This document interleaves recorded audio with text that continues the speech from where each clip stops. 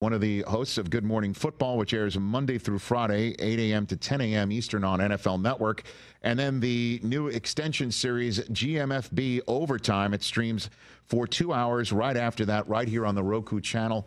Kyle Brandt kicking off hour number two. Good to see you, sir. Hey, what's up, brother? Good Great to you, be here. Yo. I Thanks, love pal. being here. I remember last time was my first time, and I will stand by my statement. Yes, sir. It feels like Jim Irsay's basement. There's just so much cool stuff and memorabilia. I walk the halls when I'm waiting to come on. Yes, sir. and if anybody doesn't know, so there's all these pictures that go on and on. It's guests over the years you've had in this chair and others.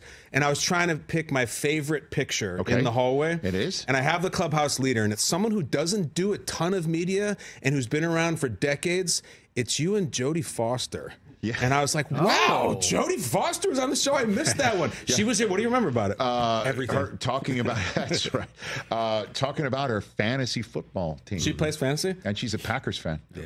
What? She loves is- Davante Adams. Was it, it was Yeah. it was it was I think Jordy Nelson was on her, one of her fantasy teams back in the day. Yep. Yeah. Yeah. Oh my gosh! How about so that? Clarice Starling is sitting here saying, "Well, should I start Greg Jennings? I don't know. He's tough against the Vikings. That's, that's see. This is what I'm talking about. It's really cool hang here. Yeah, just she. I think she was saying she was thinking of starting Jermichael Finley, Yeah, totally. but she knew he and uh, Rodgers weren't vibing. We all had Jermichael Finley back in the day, right? He was Everybody that guy that was on Yes. every fantasy team. You go to that tight end waiver wire, you pick Yes. up your Michael for the bye week. You know what I'm saying? Yeah. I get it completely. You know, and now you want a lion. That's for sure. Damn right you do. Best team in the NFL through 11 weeks, oh, Detroit Lions. Oh, Yeah. No question. I saw something that just there's so many nuggets floating around about the Lions. You get lost in the numbers. Yeah. The disparity in yardage with them yesterday and the Jaguars was north of 400 yards. It was the largest disparity in a game since the 1970s. I think it was 1979. That's correct. I've got the stat right that here right? because we, we have the same research staff.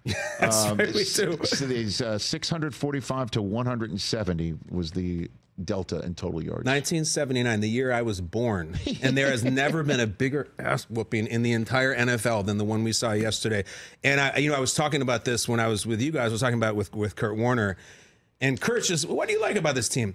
They're so likable, for just top to bottom. If you're not from Detroit, if you don't have a, a horse in the race.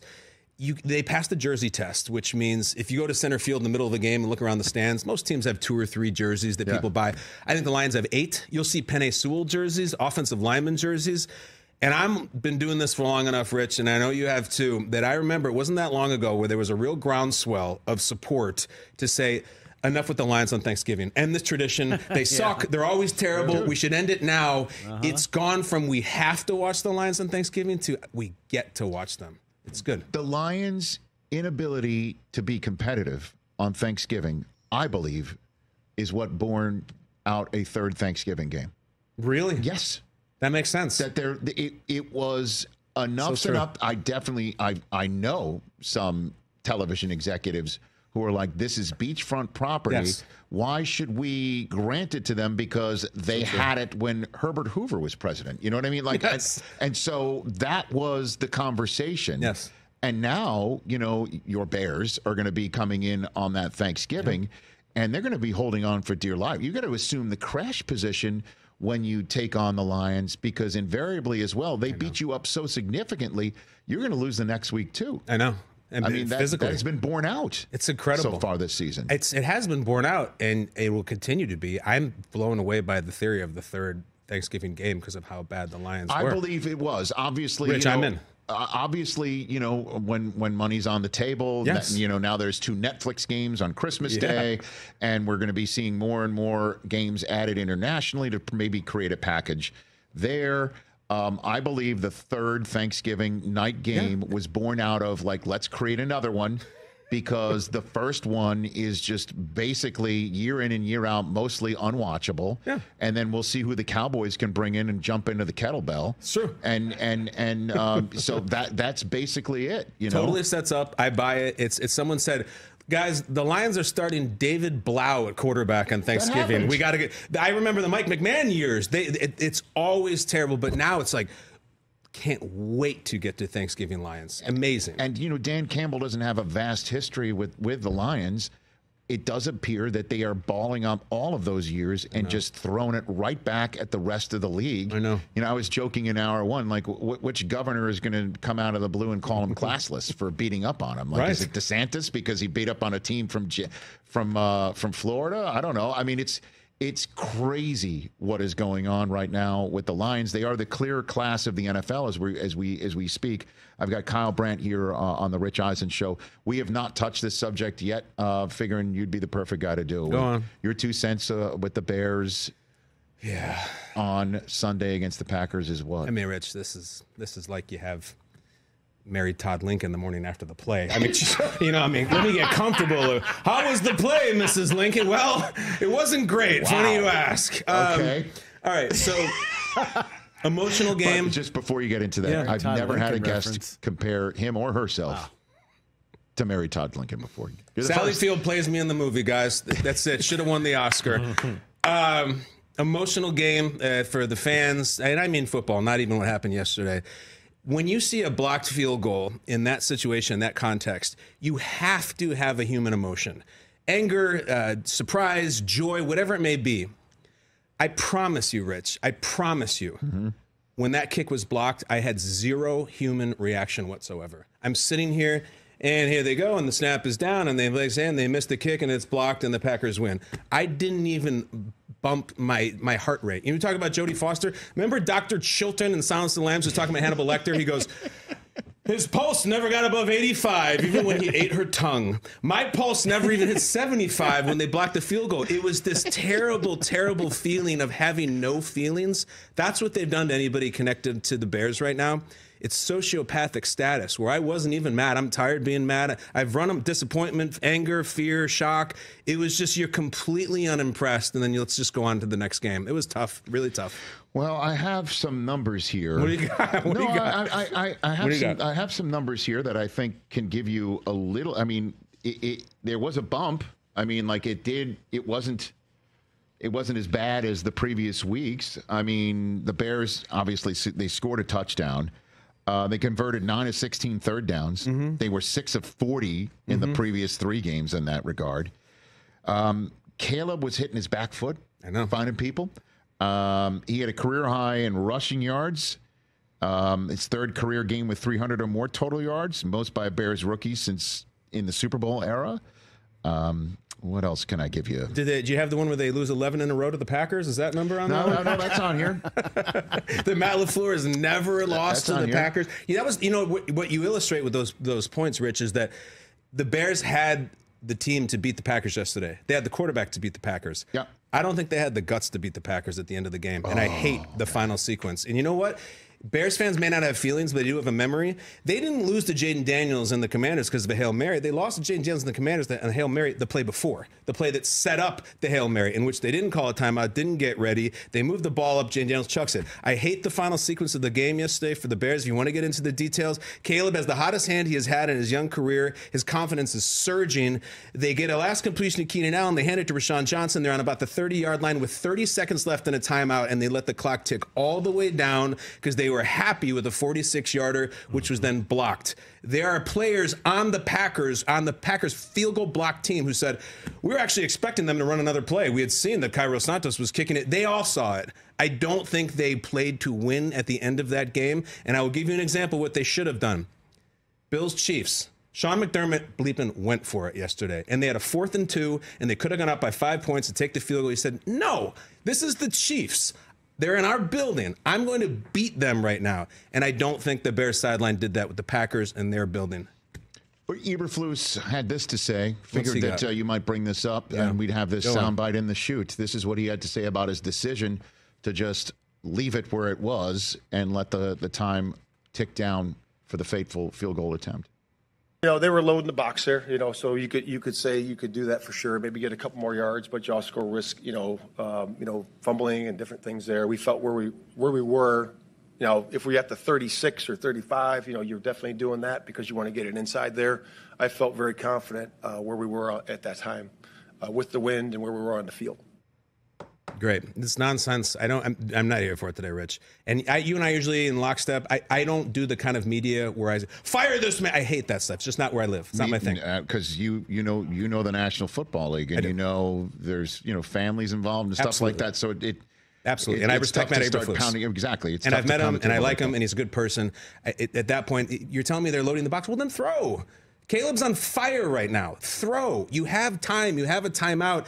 It just felt this feeling of, I think we're we're good here. I, I don't want to do anything more. Let's just kick. And I don't think that's the way to beat any team, let alone a team that beats you every single year. You got to snap the neck, and they they just didn't. I've never seen a team reel from a hail mary quite like this one. I know.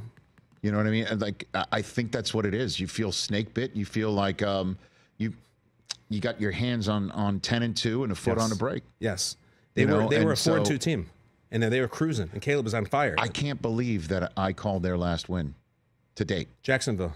in London. Yeah, and they looked great. They did. Oh my gosh! I know. You That were, I mean, he. Caleb was throwing pearls. He looked awesome, and they Four haven't won since. touchdowns. That's unbelievable. I know. I if if I if uh, you know going down the elevator told Kurt Warner or anyone else when we we're hanging out We're not gonna win afterwards that um, hey we just called their last win for at least a month. Uh-huh. And they're going to fire their offensive coordinator. Yeah. And then one of their losses is going to be you know a hail mary, and another Yes. one's going to be with a blocked field goal. That's that. Imagine if you had told Kurt, see that number 29 down there, that backup for the defensive back? Tyreek Stevens is going to be a household name. Like everybody knows who that guy is now, and they always will. Or, or in Munich, when we're in Munich talking to the Carolina Panthers about what it, what what is what was happening with the Panthers, that uh, a week later the care of Caleb Williams would be placed in the hands of a man who was the offensive coordinator for this whole thing Mm-hmm. Right. the previous year. Right. Like one who got them the guy. That they were going to audible to Thomas Brown. I know. but at least you know. Again, it, it did look better. And then I don't know if this is going to be helpful. I have an I have an old gen stat right here. Uh, Not next gen, old gen. Oh, these are old gen stats right here. Go ahead and hit it. Let me see. Old Gen Oh, great. Yeah, we- yeah, we've got animation and, Pencils. and a whole setup. Uh, the blocked field goal Yeah. that uh, cost the uh, game for the Bears. It was the first and only blocked field goal uh, by the Packers of a potential game tying or game winning field goal on the final play of the game since November 26th, 1939, against the Cleveland Rams. 39. That's the last time it happened. Those are the kind of things that are happening right now. The 30s. And that's our old gen stat. Beautiful. here on the Rich Eisen show. Oh, closing animation as well. Absolutely. Window dressing. And dressing. we have an old gentleman voicing it. It's everything. Dirty baseball. It's all good. Yeah. Does that make you feel any better that it's the Oh, I feel time? that- totally better. Yeah, that's completely cleared it up. These are things that just uh, happen once in in centuries. But I, I appreciate you reaching for some sort of positivity. The positivity for the Bears might be, and I mean this, is uh, they're very good against the Lions, and that includes the Dan Campbell Lions. They smacked them last year with Justin Fields. Like they they don't usually do they don't play as well as they do against the Lions. They have I don't want to say they have their number, but they have a chance against them. And Caleb looked good, so that's what we're doing. all right. Kyle Brandt Yeah. here uh, on the Rich Eisen show again. Good morning football on NFL Network. 8 a.m. to 10 a.m. Eastern every single morning, and then GMB, GMFB overtime right Yep. here on the, the Roku channel. So let's let's do this with levels of concern. All right, let's Kyle go. Brandt's levels of concern. Uh, let's start with because again, you just tell me how I, I don't I don't have numbers or don't. DEF CON. I, I- it's not like war games or anything like that. But levels of concern. uh, your concern level for the San Francisco 49ers is what? It's pretty high. Yesterday was a big, big day for them, and that Geno Hero ball touchdown at the end. It's just it feel it, it feels like one step forward, two steps back every time. I keep waiting for the 49ers to do the Undertaker gift where they sit up and that the NFC should have kept them down while McCaffrey was out. They should have eliminated them.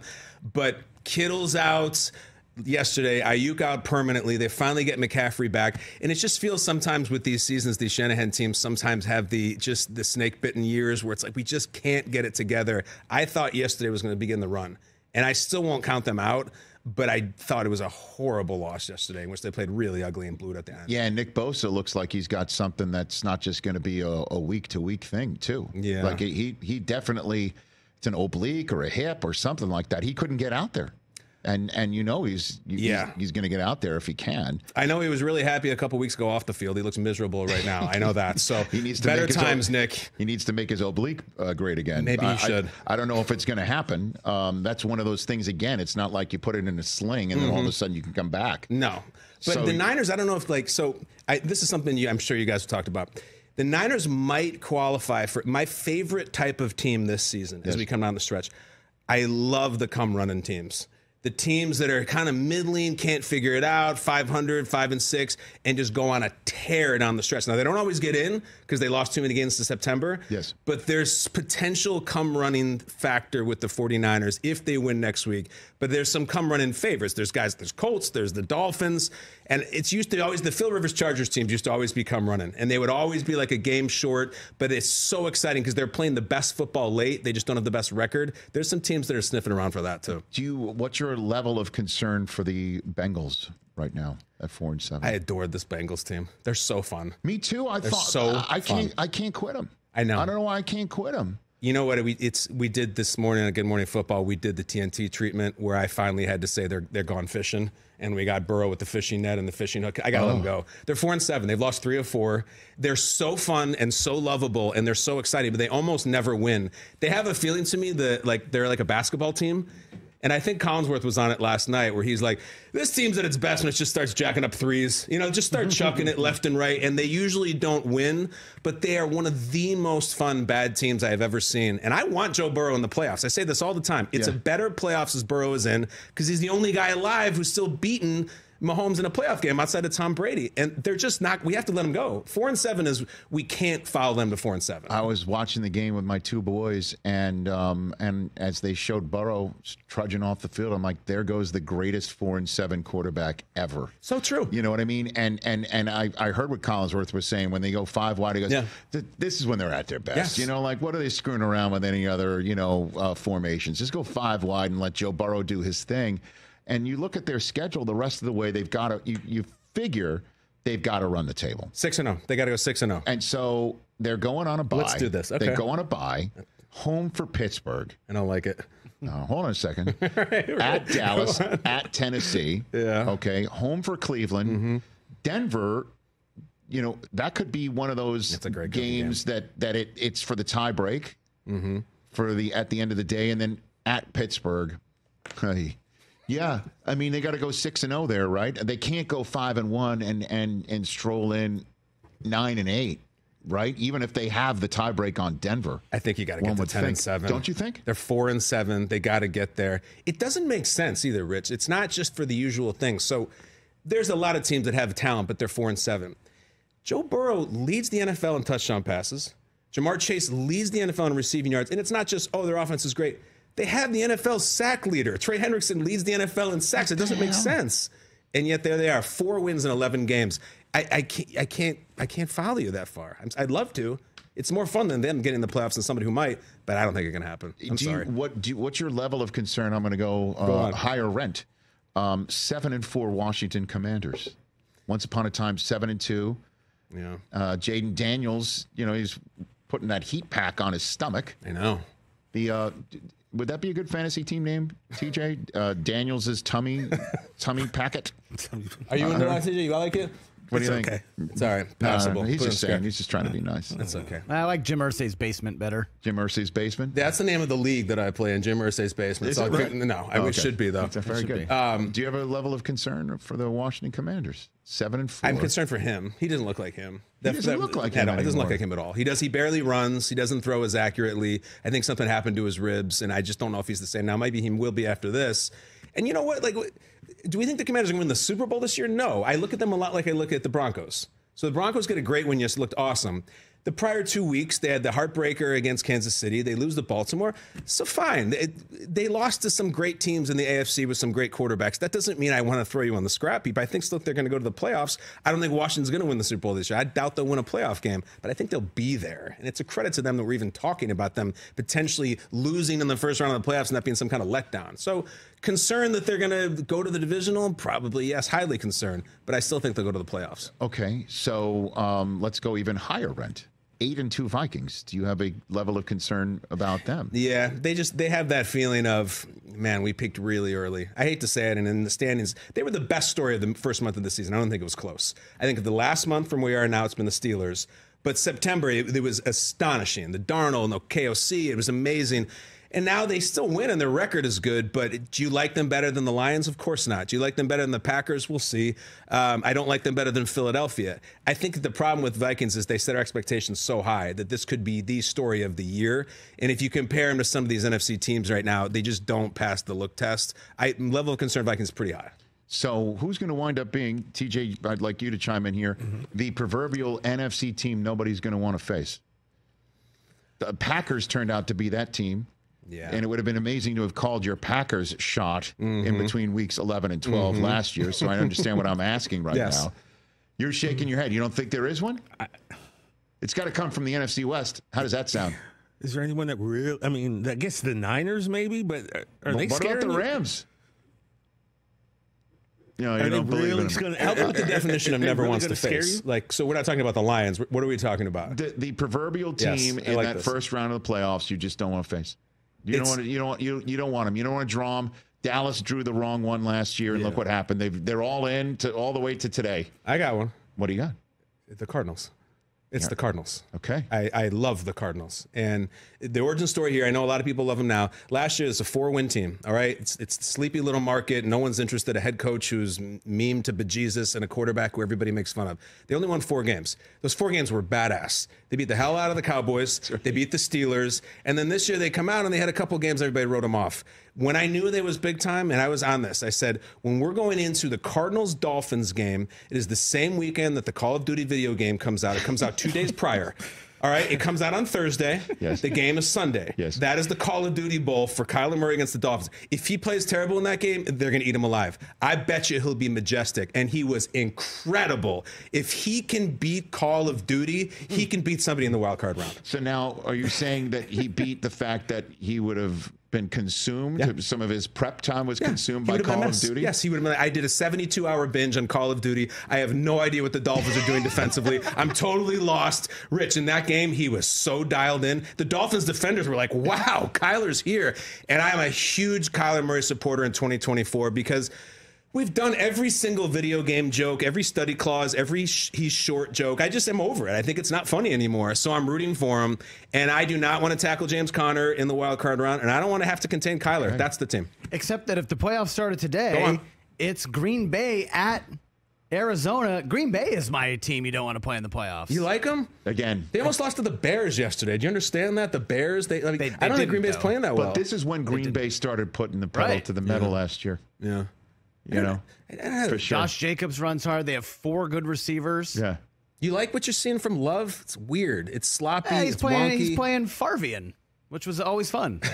All right, but Favre's winning MVPs doing it though. I I don't know. He doesn't have the same. He's not under the radar like he was last year. He's also this not emerging star. Now he is the star. I'm not afraid of the Packers right now, and I think it's because they almost lost to the Bears, hmm.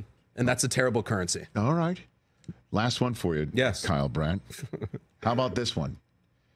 Best team Josh Allen's ever had. The current 2024 Buffalo Bills. Yay or nay? Nay. Why? It doesn't matter. The other ones had the stars on them. The other best, ones the best the, record he's had. I understand and, that. Yeah. So I, I. But this is the. I, this is a team, man. This is a team. Like, uh, if James Cook isn't going to be running between the tackles, let's get Ray Davis. If we're not going to have Keon Coleman, go on, Ritz, go or on. we don't have Stefon Diggs here, we don't have Dalton Kincaid, it's going to be Khalil Shakir moving the sticks. Mm-hmm. Okay, mm-hmm. we're gonna we're gonna get we're gonna Dawson. It's going to be the Dawson Knox, um, you know, reclamation weekend.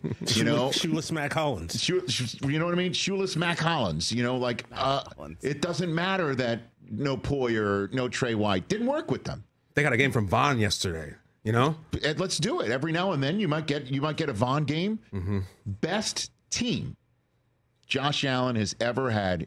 The current 2024 Buffalo Bills. I, I, now took one last hack at it. Not saying that you have to change your answer, but what? what I, I, I, I, still think that team in overtime at Arrowhead with him sitting on the bench and losing the coin toss. I, I think that was a runaway Super Bowl champion. I love that team. I listen. I really respect this team. It's a very compelling case you just laid out Thank too. You. And it's there's this sense of screw it. Josh Allen's going to do it himself. I, I don't think it's the best team they've ever had. I think it's the best record they've ever had. And my take larger today, mm-hmm. Rich, about the Bills is don't pretend like yesterday was a huge deal. Don't make it a bigger deal than it was. Well, Josh did not. I love it. He, I know, I, did too. it. He kind of totally downplayed it. refuses to give it any credit. Just another game in the schedule. Even the McDermott saying there was not a statement game. There's no parade today. Josh Allen has beaten Patrick Mahomes four times. He does it pretty much every year. So don't act like we have to do backflips now because we beat the Mahomes team. Just p- business as usual. I loved Josh Allen after the game, Tracy mm-hmm. Wolfson. And I know it gets a little exhausting because from Josh, you want a little more of a human reaction. Did you see him in the end zone? He's a complete maniac. That's his human reaction. Right. But the fact that he has this way to come down and say, not really that impressed with ourselves, we'll see them again. I would take the cue from him. That was so professional and so cool. But the sense again that in the same way that we're thinking the Chiefs aren't all that because they're so lucky and they're Yeah. going to have to how, how long can they keep pulling it out of their Yeah. you know orifice and so the general sense is that for the Bills in this regard is when when the playoffs hit Mm-hmm. the fact that they don't have those star players and those big name bold face Pro Bowl surefire players Yeah. um, it's going to haunt them. That, that against a, a Ravens team that's already beaten them, it'll haunt them.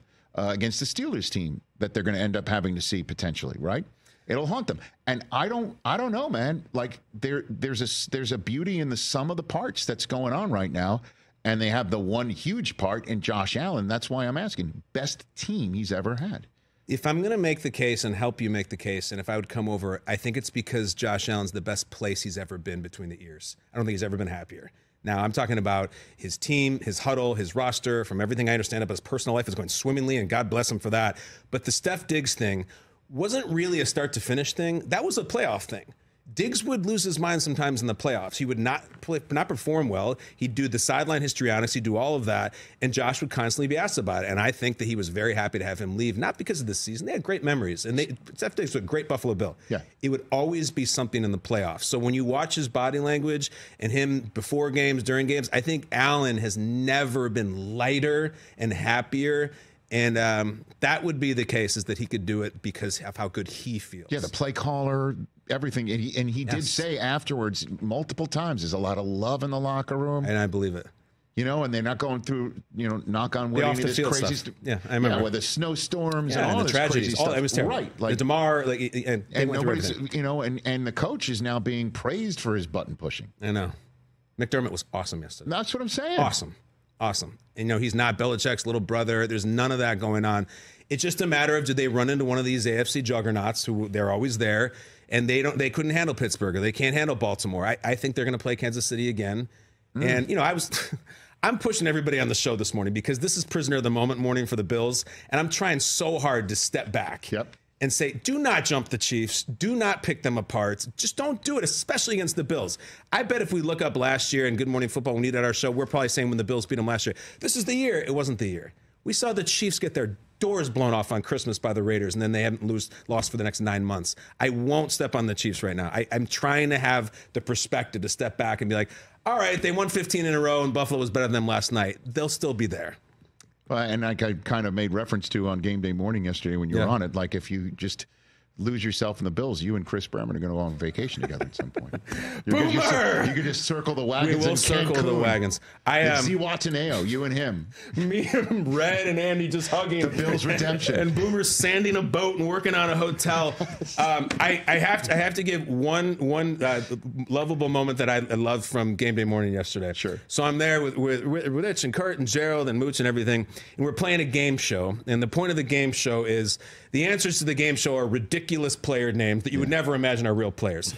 the answer to the question is DiCaprio Booty, who is a real player who was on the Chiefs for a little bit. The second Rich says the words DiCaprio Booty, I am like a dog in heat. I need to make a Leo DiCaprio dating joke. It is why I get out of bed in the morning. I have to make it. But there's 50 different voices on set, and I just, it's not set up for that. So I know no one else on set's going to make him. Sure enough, like bleeping clockwork, Eisen comes in with the perfect PG 13, not R, but also not PG reference to DiCaprio's dating life. And I was like, Thank you, Rich. I can't end this segment without doing it. You were there for me. Yeah, he he had a two-year career, so I'm like, go figure. DiCaprio had a young career. Come on! That's what I need. It's all I need. We have to check that box. That was that was your reaction. There it is. That right was there. me. Because I'm sitting there being like, please, someone acknowledge DiCaprio and Booty put together in one name. We have to make a joke. it is. And I had the beer and the There cigarette. Yes. Was, was he out of the league by 25? No, See, 22. You get it, Brockman. I- if you would have been there, I could have used it. But I only had Rich. Mariucci is not making the joke about DiCaprio. He was- he no, was- he's not doing it. He- that that was the next level. He was in the league from 21 to 22. That's right. And the second he hit him, DiCaprio just cut him. Turn in your playbook. It's over. Kyle Brandt, everybody. Check him out every single day on Good Morning Football, 8 a.m. to 10 a.m. Eastern on NFL Network, and then the two hours afterwards right here on the Roku Sports Channel. You're the man. Thanks for coming in. Coming here. up next in Rich Eisen, so DiCaprio booty right here in this chair. he Thank you, Rich. Yeah. Catch the Rich Eisen Show every single day on the Roku channel, 12 to 3 Eastern for free.